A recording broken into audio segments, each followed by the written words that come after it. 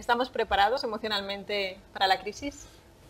El ser humano sí está preparado emocionalmente para la crisis, porque ha estado preparado emocionalmente a lo largo de toda la historia de la humanidad. Lo que pasa es que se nos olvida que estamos preparados. Y al final lo que sale de nosotros no es lo que realmente tenemos dentro, sino lo que creemos que tenemos dentro. Por supuesto que estamos preparados. Hay un montón de energías dormidas, de talentos ocultos, de capacidades inexploradas en todo ser humano sin excepción. Lo que pasa es que esas energías, esos talentos y esas capacidades no son accesibles al pensamiento superficial, y mucho menos a dejarnos, eh, cuando nos dejamos llevar por la desesperanza, por el desánimo, por la sensación de impotencia. Por supuesto que estamos preparados. Pero si pasamos de lo individual a lo colectivo, ¿no da un poco la sensación de que hay como una depresión nacional, como una depresión mundial, que un poco nos está bloqueando? Sí, yo creo que a nosotros los, seres humanos nos es muy fácil caer en una posición que es la posición de víctima. Entonces, cuando una persona cae en esa posición de víctima, lo único que espera es un salvador, que alguien le salve, que alguien le saque. Y es muy fácil en ese momento entrar en conversaciones eh, de culpa. ¿Quién tiene la culpa? ¿O he sido yo porque no me he preparado? ¿O ha sido el otro? Sensaciones muchas veces que no nos llevan a nada. Lo único que generan es un montón de tensión, nos bloquean, no nos ayudan a encontrar ningún camino y esa posición es muy fácil. Por eso el gran reto en toda situación de crisis, que en el fondo es una situación de metamorfosis, de exigencia, de transformación, es sencillamente decirse a uno mismo, se acabó ser víctima. No lo puedo hacer todo, claro que no pero sí puedo hacer algo. Yo nunca renunciaré a lo que puedo hacer. Esa, esa respuesta de una persona ante las circunstancias complejas de claro que puedo hacer algo, mueve resortes potentísimos en el ser humano. Resortes que no se mueven cuando nos quedamos estancados en el papel de víctima. ¿Y no hacen falta líderes para dirigir estos cambios? Uy, hacen falta líderes, ya lo creo que sí. Ahora, definamos bien lo que es un líder. El líder no es el que manda, el líder es el que inspira. El líder no es el que se deja llevar por el ego y lo único que le importa es lucirse y destacar. El líder es la persona a la que de verdad le importan otros seres humanos. No es el que lucha para ser el primero, es el primero en luchar. Naturalmente que sí, precisamente en las situaciones de incertidumbre y crisis es cuando más necesitamos personas que se atrevan a salir de la zona conocida, muestren que hay un camino en la zona de incertidumbre e inviten con su forma de ser y con su coherencia a otras personas también a buscarlo. Es la coherencia, es el ejemplo en un líder lo que nos mueve. No son las palabras. Estamos todos cansados de oír palabras que no se reflejen con una forma de ser y de vivir. Naturalmente que hacen falta líderes, líderes de verdad. Pero venimos ya marcados genéticamente o podemos cambiar nuestro carácter, nuestro temperamento, nuestra bueno, esa, esa, será una de las esa es una de las grandes preguntas. Lo primero que me gustaría decir es que el ser humano es un misterio.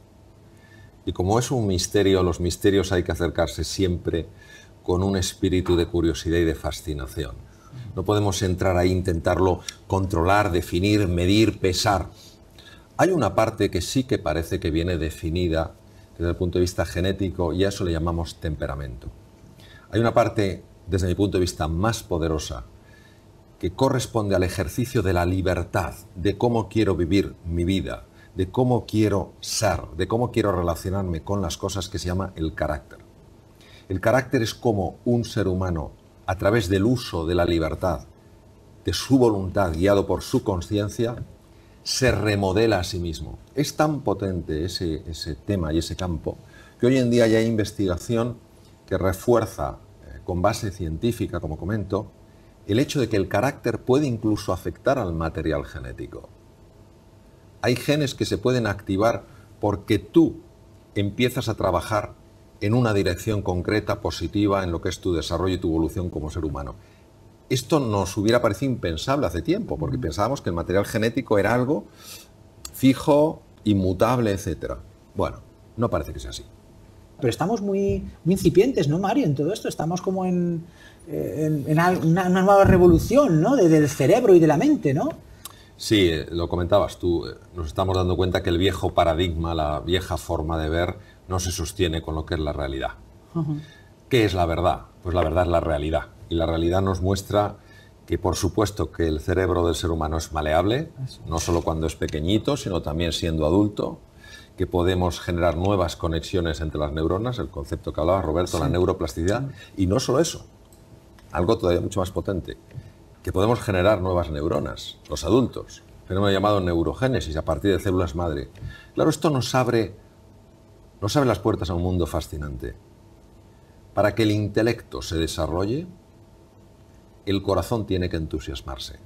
Por eso es tan importante en estos momentos de dificultad, de desafío, de crisis, que las personas no perdamos el entusiasmo, que no nos dejemos envolver, englobar, dominar, esclavizar por el problema, que lo transformemos en la visión de lo posible, en un reto que nos mueva, aunque sea con dificultad al comienzo, nuestra pasión y nuestro entusiasmo. Es que se mueven resortes muy poderosos en la mente humana. No somos conscientes del poder que tenemos dentro. Nos acostumbramos a vivir, pues eso, intentando eh, eliminar, superar los problemas que aparecen en nuestra vida. No nos damos cuenta que podemos crear verdaderas realidades. No se crean simplemente desde el intelecto se crean desde la reflexión profunda, desde la ilusión, desde la alegría, desde el entusiasmo y desde la pasión. Y me gustaría recordar la frase, bueno, de, la persona que más patentes tiene en el mundo, el, profesor Tomás Alva Edison, que ya falleció, 1096. Él decía, el genio es 1% inspiración y un 99% perspiración. Perspiración, esfuerzo, pasión, ilusión, determinación, paciencia, levantarte una vez más de las que te caes todo eso se nos olvida. Creemos que lo único que cuenta es la cantidad de conocimientos y másteres mm. que tengamos. No es verdad. Lo que importa es cuánto corazón ponemos en las cosas. Porque al fin y al cabo lo que la neurociencia nos está mostrando es que lo que el corazón quiere sentir, la mente se lo muestra.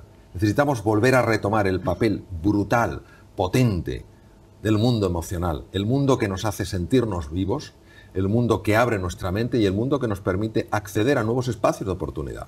O sea, con un optimista lo tiene mucho más fácil para tener éxito, para superar problemas, para ser una persona sana. Yo transformaría el concepto optimista por la persona positiva. ¿Qué es la persona positiva? La persona positiva es aquella que siempre está buscando la oportunidad incluso en medio de la dificultad. Es aquella persona que ha conseguido ganar gobierno, dominio sobre su foco de atención y continuamente está buscando la oportunidad. Porque busca la oportunidad, vive en un espacio emocional, en un estado de ánimo radicalmente diferente del de aquella persona que solo se está enfocando en lo que está mal. Cuando un ser humano se enfoca en lo positivo, no es que deje de ver lo negativo, es que tiene mucha mayor perspectiva para resolver lo negativo. La persona que se deja englobar por lo negativo tiene un cambio tremendo en su constelación hormonal, en, las hormonas que hay en su sangre. Mm. Hay cambios profundísimos en el riego sanguíneo del cerebro. Ve con menos claridad. Entonces, ¿qué pasa? Que la persona positiva, la persona que busca la oportunidad, al final es más optimista, porque tiene un cuadro más equilibrado de la realidad. Tiene mejor perspectiva y por tanto puede tomar decisiones con mayor acierto. Y a muchos lo que, lo que les pasa es que les paraliza el miedo, ¿no? Miedo a perder el trabajo, miedo a la crisis. ¿Cómo reacciona el organismo, el cerebro ante el miedo? Siempre que un ser humano está fuera de su zona conocida, de su status quo, de la zona que controla, que puede predecir, siempre se activan los mecanismos del estrés. Y los mecanismos del estrés son de dos tipos. Uno son los de supervivencia y otros son los de adaptación. Los de supervivencia se tendrían que activar solo ante un peligro físico, un depredador. Sin embargo, sabemos que se activan cuando una persona pierde, tiene la sensación de que va a perder imagen frente a los demás, va a perder mm, estatus, va a perder valoración.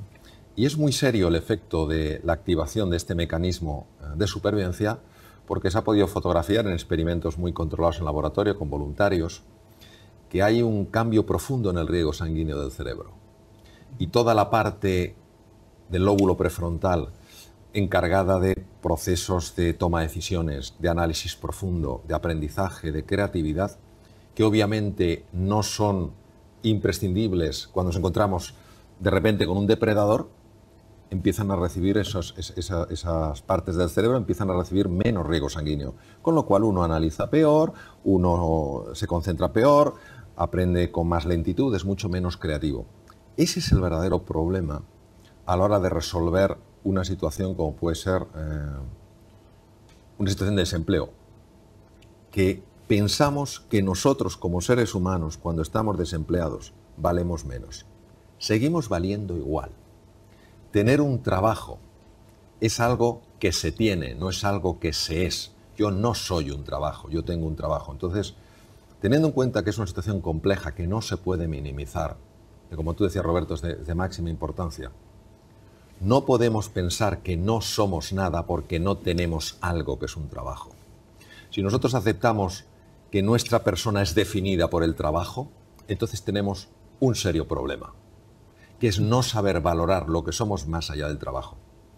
Y sí me gustaría decir una cosa, creo que el lenguaje es muy importante y todas las personas que sientan en este momento, pues yo estoy desempleado, eh, yo estoy en paro, que se planteen cambiarlo a un lenguaje muy sencillo. Yo estoy en periodo de pausa. Yo estoy en pausa. ¿Pausa para qué? Pausa para reflexionar. Pausa para buscar. Pausa para analizar. Los estudios que se han hecho en hospitales en Estados Unidos, donde sencillamente se han cambiado las palabras, han demostrado cambios muy profundos tanto en el riego del cerebro como en las hormonas. El lenguaje no es algo anodino y tontorrón. El lenguaje crea realidad. Por eso yo invito a eso, a que las personas que se ven en esta situación dejen de pensar estoy en paro, estoy desempleado, estoy en pausa. ¿Y esta pausa cómo la voy a aprovechar? Eso invita a la acción. No invita a sentirse minimizado, ninguneado, anulado. En un minuto, porque estamos a punto de acabar, un poco la conclusión sería que desde la inteligencia emocional es posible reinventarse, es posible superar esta situación. La inteligencia emocional, en el fondo, solo es una cosa, es la capacidad de comprender lo que está pasando en mi interior y de comprender lo que está pasando en el interior de otra persona. Si yo comprendo todos esos recursos de los que hablaba, todas esas energías, todas esas capacidades, tendré mucha más confianza. Si yo soy capaz de leer mucho mejor lo que le pasan a otras personas, me daré cuenta que siempre voy a encontrar personas que están peor que yo. Por sorprendente que parezca, cuando yo en lugar de centrarme en mí mismo y en todo mi sufrimiento, empiezo a centrarme un poquito en ayudar a otras personas, también verdaderamente mi propio ser se abre y descubro cosas nuevas.